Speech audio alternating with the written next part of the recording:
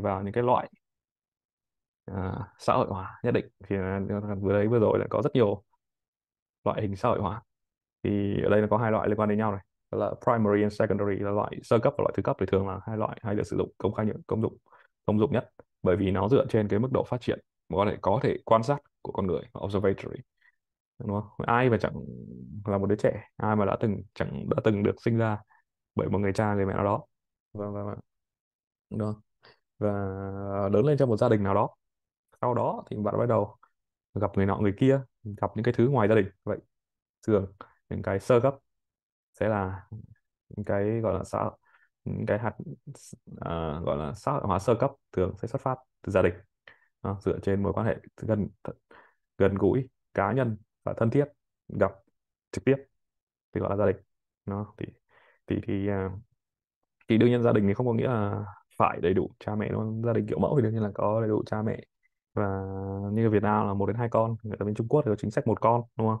Cha mẹ và con để tập trung chăm sóc đúng không? Gia đình mà có đến ba đến bốn đứa con trong đó hai đứa con thì chăm sóc rất kỹ hai đứa con còn lại thì không có mối quan hệ gần gũi uh, cá nhân. Và thật sự intimacy uh, nghĩa là thật sự uh, mang tính liên kết kết nối uh, đặc biệt ấy. thì thì hai đứa con đó thì cái cách phát triển xã hội của nó sẽ khác nó sẽ cảm thấy bị thiệt thòi và bị bị uh, không học được nhiều hệ giá trị và cái chuẩn mực và cách ứng xử hơn so với hai đứa trẻ được quan hệ được uh, chăm sóc đầy đủ. Thì nó cũng là đơn giản nó cũng là giới hạn giới hạn của mỗi bậc cha mẹ rồi những cái gia đình mà, mà sẽ là trong thời chiến ở những cái gia đình gặp những cái vấn đề hoàn cảnh khó khăn bất hạnh người cha người mẹ mất đi chức năng của mình không thực hiện được đúng chức năng nhiệm vụ của mình họ có thể mất đi họ có thể bị uh, những cái vấn đề gì đó về tâm thần của họ rồi rồi uh, họ chối bỏ những cái vai trò của họ thì đều ảnh hưởng nhất định đến đứa trẻ. Và ảnh hưởng đến đâu thì đương nhiên chúng ta phải đi sâu vào tâm lý học. Và, và chúng ta bây giờ cũng đang nhiều cách phân tích uh, tâm lý học ừ, đi sâu vào tâm lý học phát triển là như vậy hay tâm lý xã hội thì uh, ở giai đoạn này thì nó vẫn có cái tranh cãi. Và vấn đề là đứa trẻ là hấp thụ cái thụ động nghĩa là passive uh, hấp thụ cái thụ động tất cả kiến thức mà gia đình truyền cho nó. Hay là nên để nó gọi là actively participate nghĩa là chủ động tham gia vào việc à, hấp thụ và hình thành cũng như là phát triển cái hệ giá trị của gia đình. Tại vì nhân gia đình uh, hai vợ chồng trẻ là một đã một gia đình rồi vợ và chồng uh, có một đứa con. Thì đứa con nó đương nhiên hấp thụ những cái hệ hệ uh, giá trị hệ tư tưởng mà hai hai uh, cá nhân đó vợ và chồng đem đến cho đứa con đó từ cái tổng hòa hệ thống giá trị chuẩn mực xã hội mà mỗi cá nhân vợ và chồng đó học được từ gia đình của chính họ gia đình nội gia đình ngoại và tất cả những hạt nhân khác mà họ đã học trong cái quãng đời của họ cho đến thời điểm hiện tại là 29 hoặc 30 tuổi. Truyền cho đứa con đó. Đương nhiên là trong quá trình truyền nó sẽ có một đôi khi nó sẽ có những lúc uh, thể chế dân chủ để hai bên sẽ cùng ngồi lại bàn với nhau xem là, là họ nên truyền những cái gì và họ không nên truyền những cái gì. Không phải không phải là mà truyền cho hết đâu. Tại vì mỗi đứa trẻ sinh ra trong một cái bối cảnh khác nhau.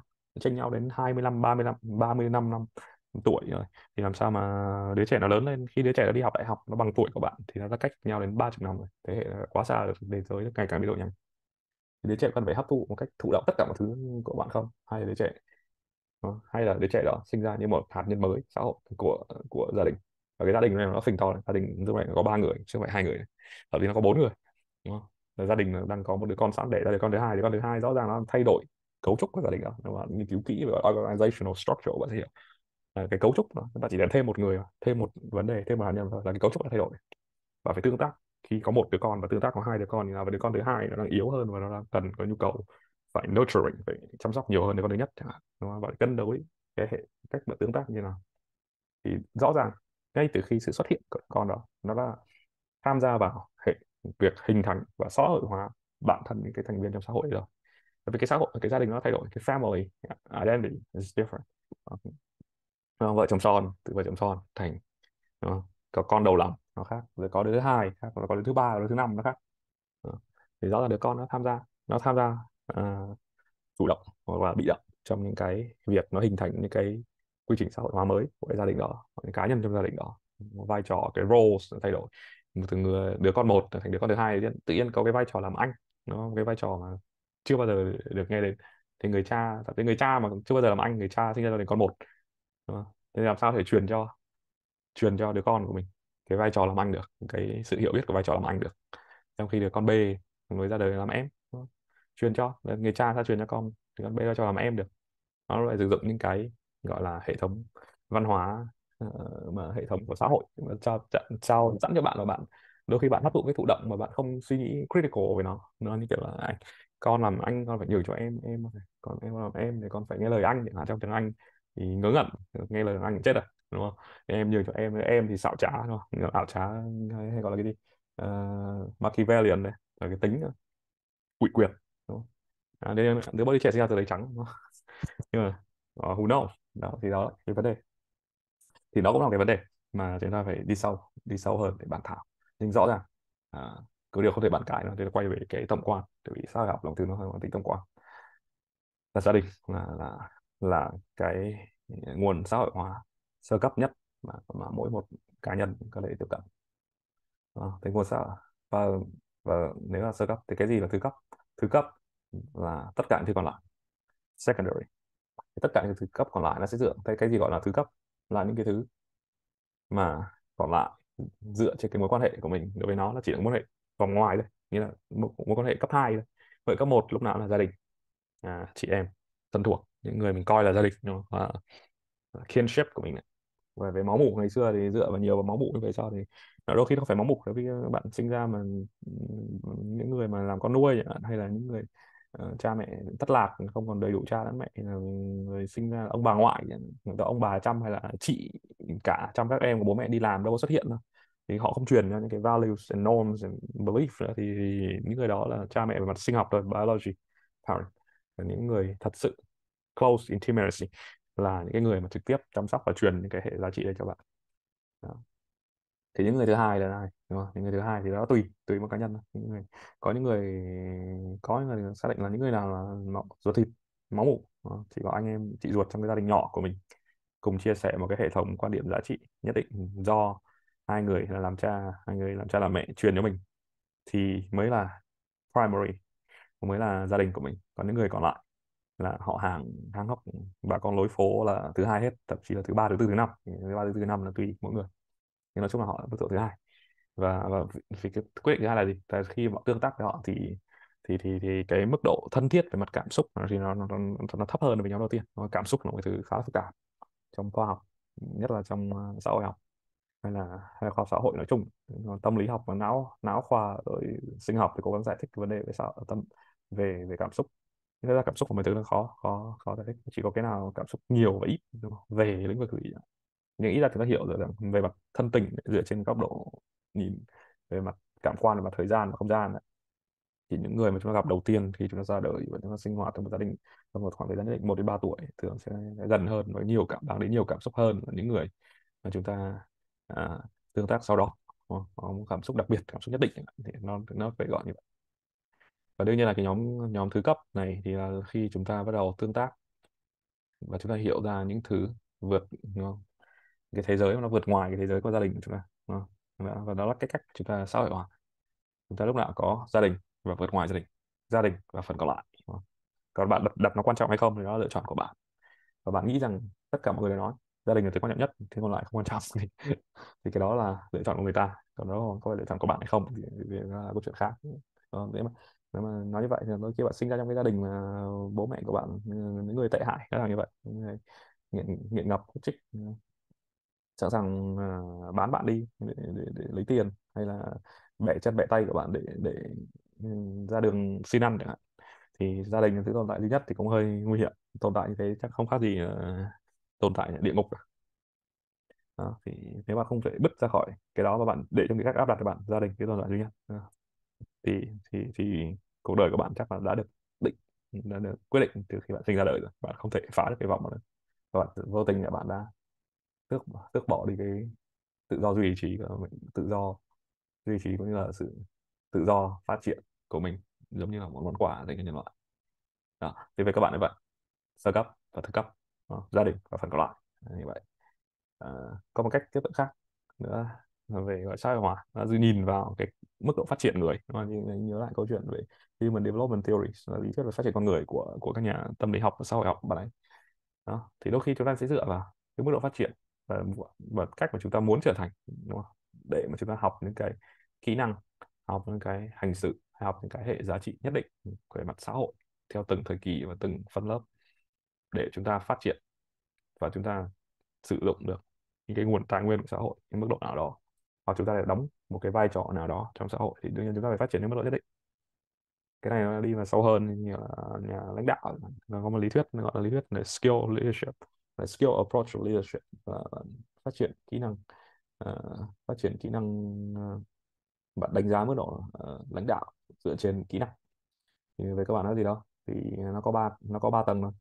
Là kỹ năng và kỹ thuật technical skill cái kỹ năng như giải toán cho đến uh, lắp máy tính cho đến ờ, uh, lắp ờ, động cơ tên lửa kỹ năng kỹ thuật.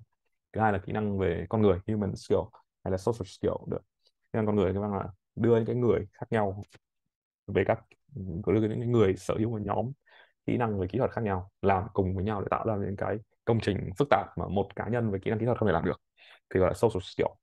Kỹ năng xã hội ra thì đường như là những người làm trưởng nhóm những người làm, làm lãnh đạo cấp trung lãnh đạo thì một nhóm người là những người như vậy tại vì họ đưa những cái người nhóm kỹ năng khác nhau ai cũng có một, một hệ thống kỹ năng nhất định. Nhưng mà nó chỉ giải quyết những cái vấn đề nhỏ vấn đề hẹp vấn đề kỹ thuật thôi. Thì thì uh, cái cái đầu tiên là deal with the reality là giải quyết những vấn đề thực tiễn và sự thật ờ, và cấu trúc và vật lý physical. Cái thứ hai liên quan đến humans ờ, con người liên quan đến xã hội liên quan đến tương tác liên quan đến emotion motivation đó, thế là nằm ở đó. Thì những người nhóm thứ hai thì thường sẽ lãnh đạo những người nhóm thứ nhất. Và đương nhiên là người là tính để thuyết phục thì những người có cái kỹ năng con người đương nhiên cũng phải có một phần nào đó kỹ năng thì thường thì sẽ có một phần nào đó năng lực về mặt kỹ thuật thì chúng có thể thuyết phục được những người mà chỉ có cái năng lực về mặt kỹ thuật technical skill đó. nhóm thứ ba nhóm thứ ba là cái lĩnh vực kỹ năng cao nhất là conceptualize skill như là những kỹ năng phức tạp nhất là kỹ năng mang tính tổng quan và mang tính uh, hệ thống hoặc là kỹ năng mang tính uh, uh, gọi là bức tranh lớn ấy, big picture skill đó. thì những cái những cái kỹ năng như vậy thì nó nó rơi vào những cái nhóm à, lãnh đạo cấp cao. À, executive những lãnh đạo quốc gia. Những người định hình cả một guồng máy, hàng triệu người, hàng trăm triệu người. Trong đó hàng trăm triệu người, đấy là hàng triệu người là lãnh đạo con người như là human skill ờ, leaders à, và hàng hàng triệu và lãnh đạo hàng chục triệu người ở dưới. Nhiều nhóm, hàng trăm nhóm ở dưới. Là những người làm về kỹ thuật, technical skill. Thì làm thế nào? Vâng, vẽ một bức tranh lớn nhìn tổng quan làm thế nào để chúng ta chúng ta đi đến đâu rồi? Trong khi mỗi ông nhỏ ở dưới thì chỉ biết là nhóm của tôi đi đến hướng này hướng kia. Ông kia phải nhìn tất bức tranh tổng thể nhìn tất cả mọi người đi theo cái hướng nào đấy và cả cái cỗ máy đang đi hướng nào và chúng ta sẽ tiếp tục đi đâu trong tương lai? Trong năm năm tới 10 năm tới nếu năm năm tới 10 năm mới sẽ là kỹ năng foresight kỹ năng uh, dự báo thì là một kỹ năng khác. Nhưng mà đó cũng là thể hiện cái mức độ thứ ba và đương nhiên là nhà, nhà lãnh đạo cũng cần phải giỏi chuyên môn hay không? Đấy là cái câu, câu, câu, câu nói mà gọi là mang tính cảm tính.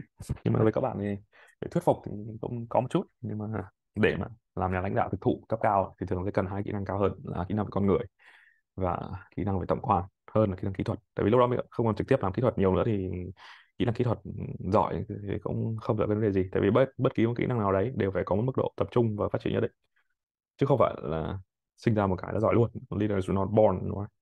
không phải sinh ra một cái là giỏi luôn các kỹ năng đó.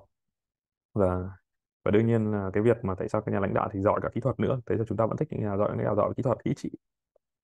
Tại vì đơn giản là đấy là cách để chúng ta thuyết phục mà tôi cảm thấy không phục cái nhà lãnh đạo tôi mà anh chả biết quái gì về về lập trình mà anh là lãnh đạo tôi. Anh biết gì anh thì biết gì về lập trình đúng không? anh có hỏi.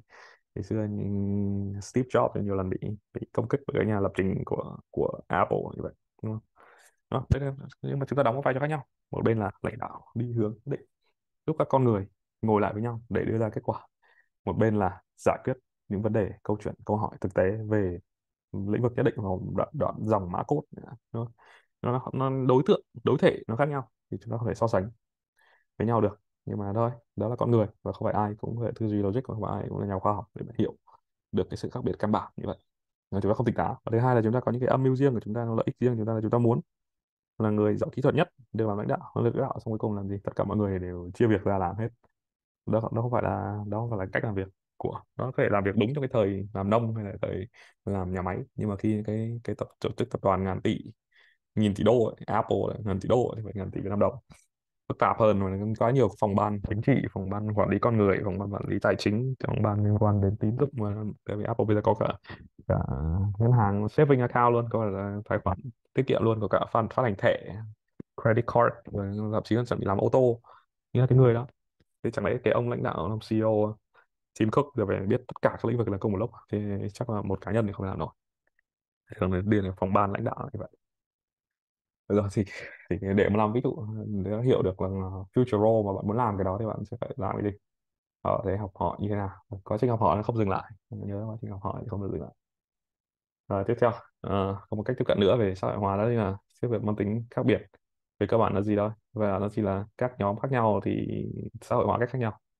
Nên là nó không phải là vấn đề liên quan đến là nhóm nào hơn nhóm nào superior nhóm nào hơn nhóm nào sự bất bình đẳng mà nó liên quan đến sự kỳ vọng khác nhau giữa các nhóm. À, là ví dụ tiếp là về gender những cái nhóm uh, giới tính khác nhau thì sẽ xã hội hóa cách khác nhau. Đó là chuyện đương nhiên. Về càng về sau các nước mà có phân biệt chủng tộc racial là một câu chuyện mà nó, các nhóm đáng ra chủng tộc khác nhau thì không thể xã hội hóa khác nhau được sự phân biệt chủng tộc về các bạn là cái không đúng đâu. Nhưng mà về thực tiễn và do quá trình vận động của lịch sử thì các chủng tộc khác nhau ít nhất là ở nước à, thì xã hội hóa khác nhau. Thì do xã hội được thiết kế như vậy bởi sự vận hành của lịch sử. Sự vận hành của hệ thể chế đương đại sự à, tư lợi của con người à, thì thì rõ ràng là nhóm da trắng à, chiếm à, da trắng bảo thủ để vẫn chiếm à, đa số và vận hành nhóm da màu trong đó da đen để bị đạp bị đe dọa rất nhiều thì bọn cố gắng để ờ, uh, các sắc dân khác. Như các da màu các dân biển đảo các dân đảo nhỏ hơn thì bị uh, bị đẩy sang một bên. Và marginalization thì nó nằm trong cái trường liên quan đến gọi là social impression oppression nghĩa là đàn áp xã hội. Thì chúng ta suy nghĩ nó ở trong một bụi khác. Nhưng mà về cơ bản bản chất cái quy trình xã hội hóa và, và xã hội học và tâm lý học và sự khác biệt về sinh hóa nó là thứ và những cái câu chuyện lịch sử nó những cái lý thuyết căn bản để bạn giải thích vì sao mà, mà, mà hệ thống xã hội nó sẽ luôn tạo nó sẽ vì cứ cái vận động đó thì nó luôn tạo ra cái bất bình đẳng trong một số nhóm nhất định và tạo ra sự sự gọi là privilege đặc quyền trong một số nhóm nhất định. Là như vậy đó sự vận hành của xã hội. Chúng ta cố gắng để lý giải nó và tìm được cái nơi nào mà chúng ta thể đột phá nó qua để thực hành những cái thay đổi mới. Rồi còn một số cái nữa về desocialization nghĩa là bạn bị mất nghĩa là bạn bị rơi khỏi cái mức độ à, bạn bị mất đi suy giảm những khả năng xã hội hóa cơ bản do bạn mất những cái vị trí hoặc là vai trò hoặc là quyền lực nhất định trong xã hội. Và resocialization chính vì bạn mất đi cái đó thì bạn phải tìm lại những cái đặc điểm những cái vai trò những cái hệ giá trị và niềm tin mới cho những vai trò mới của mình. Ví dụ là sao? Bạn đang làm à, bạn đang đi học. Học xong tốt nghiệp ra trường nhưng bây giờ bạn phải resocialization từ việc là sinh viên là một người đi làm là worker. Rồi. Rồi, ờ, rồi đôi khi bạn ờ, đang trong in a family bạn trong gia đình được bao bọc gia đình. Nếu mà gia đình bạn không còn ờ, thì bạn phải tham gia xã hội hóa với vai trò là người không còn gia đình. Đó, cái câu chuyện khác. Khi khi khi cái tuổi thọ đến giới hạn con người sinh hoạt đến ba và mẹ của bạn biến mất. Lúc này bạn phải tham gia xã hội vai trò mới không còn những người gọi là intimacy những người thân cận xung quanh mình để dìu dắt mình nữa. Thì bạn phải tham gia với vai trò mới. Bạn mất đi những vai trò ờ, bạn mất đi cái vị trí làm con. Lúc đó là bạn mất đi bạn không còn cha và mẹ nữa bạn mất đi cái roles of son of daughters. Bạn mất đi cái vai trò làm con của mình để biết đó mình không còn là con của ai đó, mình mình mất đi cái vai trò đó. Rồi mình mất đi cái đặc quyền để được yêu thương được che chở bởi những người thân cận hàng chục năm lúc này mình có cái vai trò mới là mình làm cha làm mẹ của một gia đình mới. Rồi có một cái nó gần hơn như kiểu là cáo cáo cho hai nhìn thấy đó. Là bây giờ bạn đang làm lãnh đạo quốc gia. Đó, vai trò rất lớn. Rồi bạn mất và đến tuổi nghỉ hưu bạn nghỉ và rời khỏi vai trò đó. Loss of role loss of power. Bạn đánh mất cái quyền lực của mình nhất định quyền lợi năng lực của mình nhất định. Bạn trở về là một người bình thường. Là một người ông người bà bình thường bạn bạn bỏ bớt một số vai trò nhất định đi. Hoặc là bạn không còn làm giám đốc tổng biên tập. Thậm chí nữa bạn trở thành một người ông người bà bình thường. Thì thì bạn thì trong quá trình đó thì bạn cách bạn tiếp cận xã hội nó sẽ khác đi. Ờ, một số người thì nếu chúng ta hiểu bản chất thì thôi không còn cái vai trò đấy nữa thì thôi bỏ đi. Coi như mình quên cái đó đi. Mình tập trung vào cái của mình tập trung vào những cái hiện tại những cái uh, hạt nhân xã hội hóa hiện tại mà mình đang đang đang nắm giữ những cái vị trí xã hội hiện tại mình đang nắm giữ là gì? Là ông các đứa cháu đúng không? là cha của người con trưởng thành có gia đình mới. À, đó là chỉ như vậy thôi. Và cảm thấy không hài lòng thì bạn thêm cái nữa là bây giờ bạn có thời gian rảnh mà làm tổ trưởng tổ dân phố hoặc là bạn làm tư vấn cho cho cơ quan mà bạn đã từng làm chẳng hạn đấy là vai trò mới. Thì cái chuyện là đi socialization và re-socialization thì luôn đi với nhau. Ờ, bạn mất vị trí này thì bạn phải tái định vị trí mới. Thì đó là câu chuyện à, bình thường và logic ai hiểu.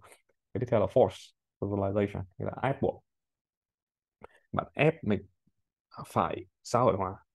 Và trường hợp này diễn ra khi mà bạn không có lựa chọn nào khác ngoài việc phải tiếp thu ngay những cái hệ giá trị và quy định. Ừ, mà mà cái xã hội ừ, mà đang không bạn uh, tham gia vào nhóm xã hội tham gia vào mà bạn không có lựa chọn nào khác nghĩa là bạn không được phép uh, debate bạn không được phép uh, uh, bạn không được phép uh, gọi là reject nghĩa là từ từ chối đó. Bạn bạn không được phép học từng phần mà bạn đơn giản quy định đến và cho đến. Làm thì thường cái này nó cũng hơi đó, bạn thấy đây có ví dụ như là bạn vào nhà tù bạn đi viện tâm thần và bạn tham gia vào quân đội là những hệ thống uh, tuy nhiên là không phải là so sánh bạn là giống nhau nhưng mà có nghĩa là đây là những nơi mà cái, cái hệ thống xã hội hóa đặc thù dựa trên các quy tắc chuẩn mực sự sự đặc thù. Và, và bạn bị isolate bạn bị cô lập khỏi những cái hệ giá trị khác. Trước đó bạn đã có nên thế bạn buộc phải thích nghi với những cái mới. Và thấy ở đây thì cái all in à, chính nói đây là cái việc gọi là buộc phải xã hội hóa thì thường sẽ dẫn đến những cái tổn thương hoặc những cái ảnh hưởng về mặt tâm lý trong dài hạn. Nên thế phải cẩn trọng với việc buộc dẫn cái việc bạn ép buộc con cái mình học cái gì đó ép buộc nó, nó, nó tham gia ép buộc nó du học nước ngoài du, du học nước ngoài là du học đi du học ờ, là bạn tham gia một xã hội mới nền văn hóa mới nói tiếng mới bạn, bạn ở xa gia đình để bạn à, để bạn va chạm các hệ thống mới chẳng hạn cho con trẻ đi học thì rất sớm đúng không? đó là một cái câu chuyện gọi là nó, đôi khi nó sẽ mang tính gọi là ép buộc xã hội và đương nhiên gây ra những ảnh hưởng tâm lý dài hạn nếu như đứa trẻ nó không tự lựa chọn đúng không? nó tự lựa chọn thì đương nhiên là vấn đề trauma ờ, và những tổn thương tâm lý thì lại đi sâu vào tâm lý học hơn. Nhưng mà đây cũng là một quá trình mình phải cẩn thận. Cái gì là ép buộc như là bạn không tình nguyện tự nguyện làm thì đều gây ra những ảnh hưởng nhất định. Và một số cách nhìn khác uh, do cái tính mở rộng của hệ thống khoa học xã hội cũng như là hệ thống uh, nghiên cứu và sự đan xen giữa chính trị kinh tế xã hội và khoa học và giáo dục nó tạo ra một số rất nhiều những cái nhánh nghiên cứu mới về, về quy trình xã hội hóa. Ở đây là có là xã hội hóa của tổ chức xã hội hóa nhóm xã hội hóa theo uh, theo giới tính theo chủng tộc. Uh, liên quan đến liên quan đến những cái vấn đề đến đàn áp oppression nó liên đến ngôn ngữ xã hội hóa dựa trên ngôn ngữ. Và chúng ta quay lại câu chuyện cái forces là cái kim cương kim cương triết học nó nằm trên hai một cái đế nó gồm hai phần là logic and language. Uh, triết học tất cả những cái chúng ta hạ tầng đều dựa trên hai thứ là logic và cách chúng ta suy nghĩ và ngôn ngữ language và cách chúng ta trình bày. Vậy thì ngôn ngữ là một thứ thật sự mang tính vô cùng căn bản để mà bạn diễn giải và hiểu biết thế giới này. Vậy đương nhiên về xã hội hóa dựa trên ngôn ngữ là một chuyện đương nhiên. Đó, xã hội hóa mà dựa trên à, có kế hoạch xã hội hóa dựa trên những cấp độ tự nhiên natural. Giai điệu hóa mang tính tích cực hoặc tiêu cực xã hội hóa mang tính chính trị đều là những cái rất nhiều rất nhiều hơn nữa càng ngày khoa học xã hội ngày càng cấp tiến ngày càng phát triển và những cái tiếp cận hơn nữa về nó sau này thì cái xã hội hóa mang tính data mang tính số liệu và xã hội hóa mang tính à, khoa học, hoặc mình mang mang tính à, cái gì? Mang tính à, globalization toàn cầu hóa, hoàn toàn có thể xảy ra. Được rồi, đây có một cái đi hơi sâu và quay lại một cái tên quen thuộc quen thuộc mà, Edgar Schein kia. Nó về quy trình xã hội hóa của một tổ chức. Cái nó lấy một cái ví dụ thôi, cái phần kia chúng ta nói sau. Thì có hai mô hình, một là của Feynman, một là của Philman năm 1981 hai là của Van Man and Shine năm 1977 thì về cơ bản nó có nhiều bước khác nhau mà thôi. Nó lý giải quy trình xã hóa của tổ chức khác nhau. Ta nhìn có qua này. bước đầu tiên trong uh, mô hình của Feldman là quy trình xã hội hóa mang tính cách uh, ước lượng và anticipation giả định. À, chúng ta trong quá trình đó chúng ta nhận ra những thực tiễn religion sự, cái, sự thật về cái tổ chức này. À, và những cái thứ mình cần thiết để phát triển và hệ giá trị mà mình cần. Từ cái thực tiễn này mình bắt đầu thực hành. Encourage thực hiện với việc là mình phải cân bằng cái cuộc sống bên trong và bên ngoài của mình như là bên trong tổ chức và bên ngoài tổ chức. Có giống gia đình xã hội bạn bè và những người trong tổ chức. Là trong khoảng thời gian mình nghiên cứu và làm việc ở tổ chức đó thì hành xử khác nhau. Và thứ hai là bạn phải đúng không? quản trị những cái vấn đề à, integrate như là cái vị trí của bạn trong cái nhóm khác nhau. Thì cái sự uh, conflict là sự tương phản hay là sự gọi là uh, những cái vấn đề giữa các nhóm cái vai trò của mình ở nhóm khác nhau. Như khi mình là, là con trong một gia đình mình, ừ, hay mình là cha trong một gia đình phải phải mang nhiệm vụ là dạy bảo con cái mà và, và cung cấp tài nguyên để gia đình nó tồn tại bằng việc đi làm 8 tiếng mỗi ngày. Và bạn cũng là một người làm về uh, đứng đầu của một chương trình thiện nguyện và phải bỏ ra khoảng 3 tiếng mỗi ngày cho chương trình đó thì với bạn conflict nó dễ ra những cái nó, nó thời gian nó nó chồng chéo nhau overlap với nhau. Thì bạn giải quyết như thế nào?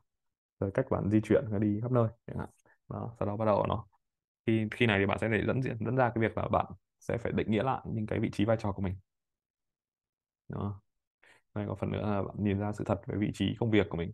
Really realism bạn chọn. Ra và sau đó bạn phải bắt đầu phát triển những kỹ năng và khả năng của mình. Định nghĩa lại. Và, và sản xuất và suy nghĩ về những cái nhiệm vụ của mình thể làm task ờ, và đưa ra, áp dụng cái năng lực kỹ thuật của mình cho cái nhóm. Và đương nhiên là khi cái nhóm này nó cũng phải dựa trên cái giả định của bạn và giả định của tổ chức có sẵn, đúng không? và bạn đưa ra những cái giải pháp và quản lý những cái công việc của mình. Và bạn điều chỉnh để phù hợp với cái quy quy tắc sự sự và giá trị của nhóm đó mà bạn tham gia. Sau đó đưa ra outcomes và bạn đưa ra cái hành sự của bạn sau khi quá trình bạn hiểu biết bạn thực hiện những bước bên trong và bạn thay đổi những bước bên ngoài. Đó, và đưa uh, thực hành những cái công việc mà cái vai trò bạn nhận được. Đó. và lựa chọn và bạn có thể tiếp tục ở lại với với, với cái tổ chức đó tiếp tục làm việc uh, tiếp tục phát triển và nâng cao năng lực của mình trong việc hợp tác và cuối cùng là những cái hành xử mang tính hiệu quả. Uh, effective cái này mới hành xử chung chung. Cái này là hành xử mang tính hiệu quả. Là gì? À, lợi. Cảm thấy general satisfaction. Nó bạn thấy hài lòng nhìn chung bạn cảm thấy hài lòng. Đó là khi bạn đi đến kết quả thì bạn cảm thấy hài lòng. Và bạn ở lại với tổ chức nên là bạn không bị mất đi cái vai trò the role, in organization. Bạn mất đi không mất đi cái vai trò mình trong tổ chức bạn cảm thấy hài lòng nói chung. À, bạn cảm thấy bên trạng bản thân công việc của bạn cũng bạn đấy bạn cảm thấy được Ờ, uh, truyền động lực truyền cảm hứng motivation truyền động lực. Và để mà thực hiện công việc của bạn thì ở đây cho cái mô hình này nó, nó cũng hơi lạ nó cũng chưa được đầy đủ lắm. Nhưng mà thôi nó là một mô hình khá là hoàn thiện. Là dựa trên công việc mà bạn quản lý công việc của mình task mastery thì bạn sẽ cảm thấy được những cái việc có động lực để mà tiếp tục làm việc của mình ở bên trong. Như là mình cảm thấy mình ổn mình có thể mình mình giải quyết được nhiều công việc khác nhau có thể cân bằng vai trò xã hội vai trò tổ chức vai trò cá nhân của mình. Cuối cùng là bạn có sự phát triển khi mà bạn phát triển kỹ thuật uh, bạn phát triển tốt trong nhóm và bạn thực hiện tốt vai trò cá nhân của mình. Như một cá nhân đóng góp trong tổ chức và trong nhóm thì bạn có khả năng phát triển về nghề nghiệp về công việc của mình. Đó, thì thì motivation nó nằm ở đây. Motivation thì theo cái lý thuyết này motivation cái cái mà giúp bạn uh, truyền cảm hứng khơi gợi bạn phát triển đó chính là dựa trên cái việc bạn thuận tiện bạn có thể kiểm soát công việc của mình. Task mastery hơn là emotion. Ở đây mà không nhìn thấy đó là đây không nhìn thấy vấn đề về emotion về, về cảm xúc vấn đề về giá trị vấn đề về văn hóa đâu nằm ở đây. Đó, thì ờ, cái mô hình ngày xưa thì, ờ, thì, thì cũ thì là thường như vậy mang tính cấu trúc hơn, hơn là mang tính cảm xúc của cá nhân. Và đây là sáu cái bình diện mà mà và Man and Shine nói về việc khi bạn xã hội hóa trong một tổ chức. Thì, thì nó cũng về các bạn thì nó chỉ là cái sáu bình diện khác nhau là bạn so sánh thôi. Cái này là tập institutionalize nghĩa là khi bạn thể chế hóa hoặc bạn cá nhân hóa.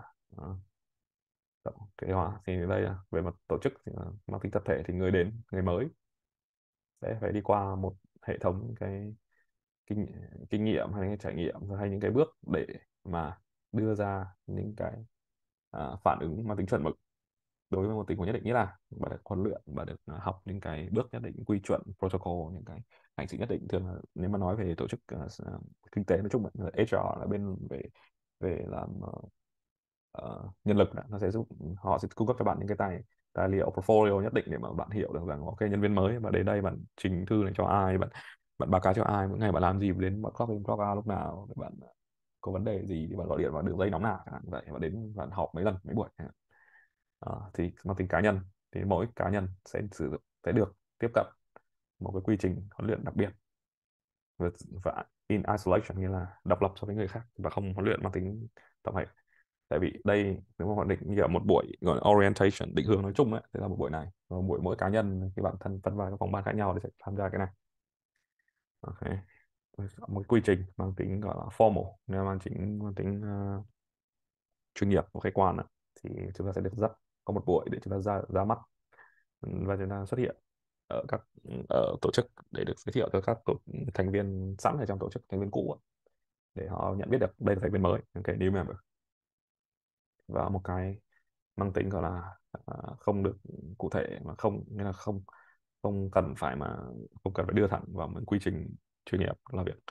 Một cá nhân thì sẽ được nhận những cái on the job training nghĩa là khi bạn bắt đầu làm việc thì bạn sẽ được training và được huấn luyện để làm công việc đó để học về cái kỹ thuật của mình nếu phải không phải lúc nào là à, à, bạn muốn làm vai trò gì thì nó sẽ có sẵn cho tất cả tất cả mọi thứ cho bạn đâu. Mà đôi khi công việc của bạn nó sẽ là hands-on learning bạn học bạn làm đến đâu thì bạn sẽ học đến đó. Tại vì không ai không phải ai cũng không biết gì như bạn và không phải ai cũng uh, biết tất cả mọi thứ. Mà thường chúng ta sẽ chạy chạy chạy ở giữa cái cái ờ, hai cái đầu. Chúng ta sẽ chạy cân bằng ở giữa hai cái đầu là một là ông không biết gì hết và mà ông biết tất cả mọi thứ Ờ, tất cả mọi thứ thì mọi thứ nghe nó hơi phi lý nhưng mà có người gọi biết hầu hết mọi thứ trong công việc trong tổ chức và mọi người không biết gì hết. Thì nó sẽ chạy chạy ở trong đó. Mỗi người mức độ nhất định phải cần huấn luyện cá nhân nhất định. Tiếp theo mà mang tính tập trung hoặc là mang tính tự do đó chính là chúng ta sẽ được đưa ra clear sequence experience. Nghĩa là đưa ra một cách cụ thể các bước mà chúng ta sẽ tham gia trong quá trình uh, convocation hoặc là trong quá trình hợp tác trong quá trình tương tác với nhau hoặc là random. Chính là những cái bước uh, tương tác xã hội hóa khác nhau trong tổ chức sẽ được đưa ra uh, không được đưa ra trước mà nó sẽ dựa trên uh, bạn đi đến phòng bàn nào họ đi đến bước nào. Trong công việc của bạn thì người ta sẽ bắt đầu chỉ dạy cho bạn thêm điều đó mà thường cái tổ chức không chuyên sẽ như vậy. Hoặc đôi khi họ sẽ có cả hai họ đưa cho bạn luôn một cái cái hồ sơ của tất cả mọi bước tất cả mọi nơi tất cả mọi điểm đến. Và bạn cần thiết đưa cho bạn một cái app điện thoại một cái website để bạn truy cứu tra cứu. Nhưng mà vì bạn quá bị đánh lạc hướng bởi cái công việc mà bạn hay làm như là gõ bàn giấy nhập nhập số liệu làm uh, tài chính làm marketing thì, thì bạn đôi khi bạn quên những cái bước mà bạn không cần thiết đi. Và đến lúc mà phải đến lúc đó khi bạn gặp lại vấn đề liên quan đến lương thưởng liên quan đến uh, đi huấn luyện những cái mới thì bạn lại phải quay ngược lại đi hỏi người khác. Nên chúng ta lười tự suy nghĩ chúng ta sẽ đi hỏi người khác phải nhanh. À.